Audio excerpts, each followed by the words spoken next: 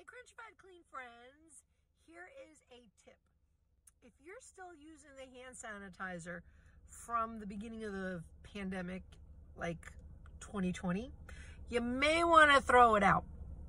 Isopropyl alcohol expires. Doesn't last forever. So look at your bottle. This one that I found, June of 2022. We are in September of 2023. So this one was uh, has not been used. I just had it in one of my bins. I don't know why. Maybe I was planning on throwing it out and then I put it in a bin to get rid of and then I just never got rid of it. So here it is. And I figured I can use this as a teachable moment. So yes, definitely look at expiration dates.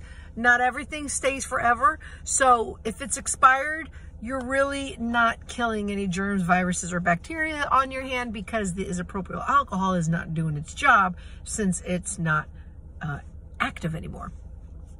So yeah, look at those expiration dates. Same goes for hydrogen peroxide. That expires as well. Follow along for more tips.